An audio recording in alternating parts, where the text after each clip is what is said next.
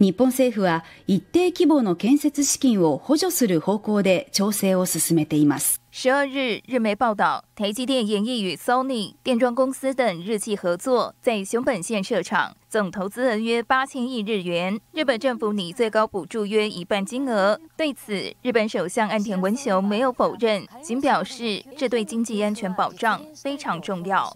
国内においてしっかりとサプライチェーンという形で確保できるということ、これは経済安全保障にとって大変重要だと思います。この経済対策の中にもこういった動きを支援する。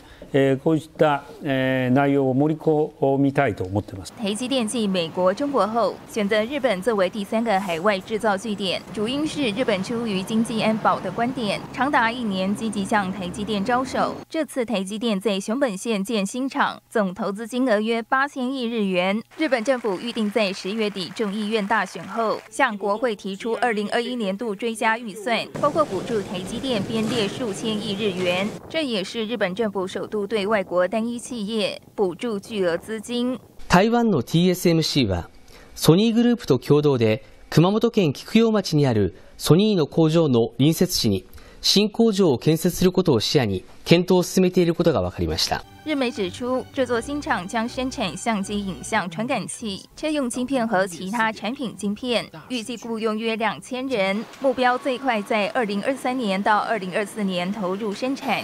新唐人亚太电视池千里、李晶晶台湾特别报道。